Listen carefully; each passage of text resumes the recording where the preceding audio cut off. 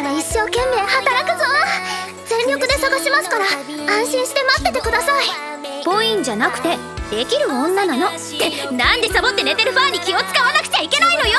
気に入ってくれるといいねって言ってるよ。ウェヘン。ファーお仕事できるのだ。私も女の子らしく怖がりたいややだ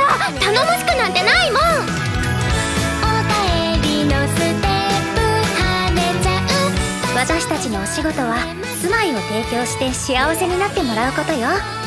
広くて綺麗でいい立地でそれでいてお安いお部屋がいいって。そんな物件ないよ。こんな城下町の不動産屋で働いてるなんて。落ち着いてるフリア何でもしてくれるんですか？そこまでは言ってない。ここへ住む人にいいところがいっぱいあるって教えてあげたいの。パーマあ誠ネと絶対一緒にいる。